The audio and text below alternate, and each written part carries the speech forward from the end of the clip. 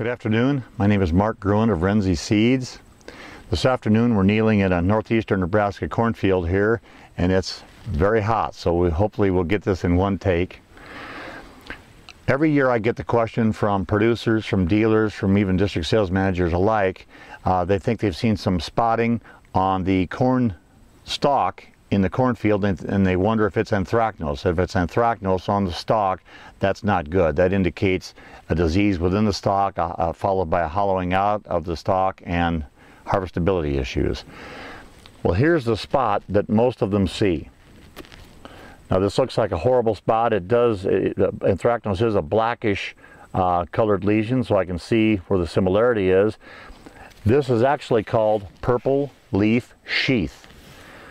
This It's black now, but a lot of times it starts out as a dark maroon color.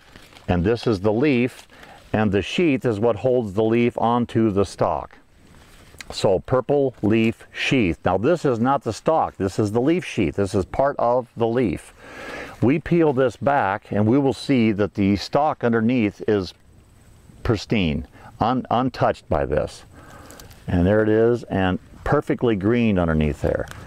The lesion is only part of the leaf sheath. So what causes this? Pollen gets down between, uh, slides down the leaf and gets between the leaf sheath and the stalk and is attacked there by various bacteria and fungi and causes this discoloration. So this is not anthracnose, it has not bothered the stalk, it is called purple leaf sheath.